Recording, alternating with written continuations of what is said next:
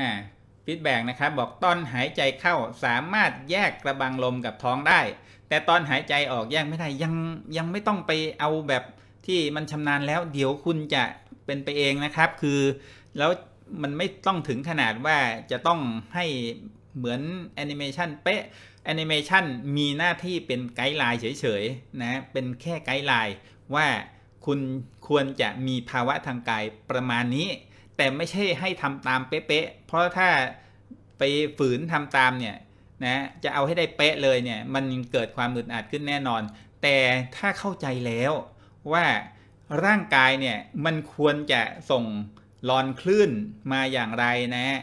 พอคุณไปทำเองด้วยความเข้าใจของคุณเองด้วยสัญชาตญาณที่มันเกิดขึ้นนะจิตจิตเนี่ยมันจะมีสัญชาตญาณของมันอยู่แล้ว เวลาที่ มีความคุ้นมีความชินมีความชำนาญกับอะไรนะ คุณจะเห็นว่า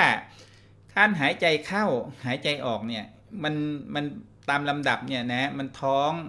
นะอกนะครับเข้าไปสุด แล้วก็ออกมาด้วยอกแล้วก็ด้วยท้องเนี่ยอย่างง่ายๆ สบายๆได้เองนะไม่ต้องฝืนไม่ต้องพยายามอะไรทั้งสิ้น